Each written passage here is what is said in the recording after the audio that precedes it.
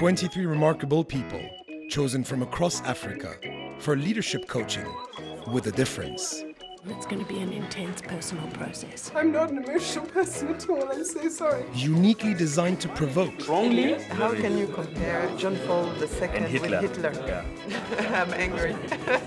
Don't give me the victim. I can't stand anymore listening to all this. Seriously, we are young leaders. We're here to promote a new style of leadership, and that's what we agreed on. You can't go back and be in your 20s or 30s and say, what we need is another dictatorship. We cannot sign up for another 30 years of dictatorship. Unite. I find him very special. He's special. we can influence which road our nations go. and empower them. Power to the people. My mind's racing with all sorts of uh, dangerous thoughts.